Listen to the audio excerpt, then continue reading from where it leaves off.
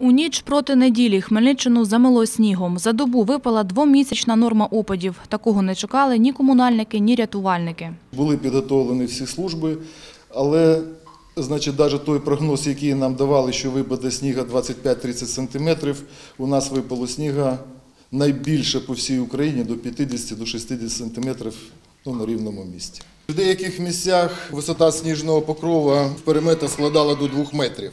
Найбільше від негоди постраждали північні і центральні райони області. У Красилівському районі досі без світла 47 сіл, в Ізяславському – 35, у Городоцькому – 14. Усього в області без електроенергії залишаються близько сотні сіл.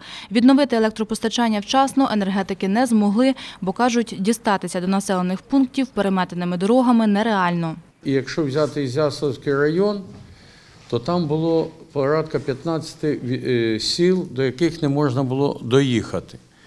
Значить, ми вирішили таку питанню, на- е, питання. Наняли в кого можна було коні, сані, садили е, виробничий персонал і таким чином добиралися до тих сіл, куди потрібно було добратися.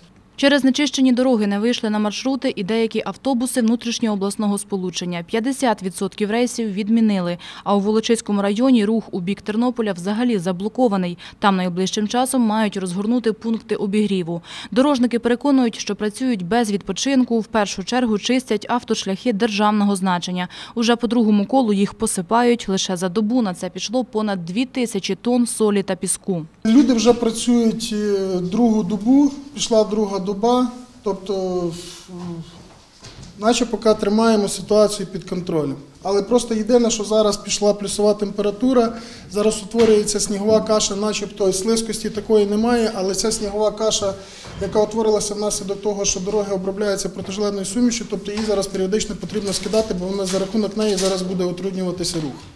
Третю добу без відпочинку працюють і рятувальники. За вихідні вони прийняли понад дві тисячі викликів. Витягували із заметів автівки і рейсові автобуси і двічі їздили до пологового будинку. було надано допомогу у транспортуванні карет швидкої медичної допомоги більше 20 раз ми залучалися.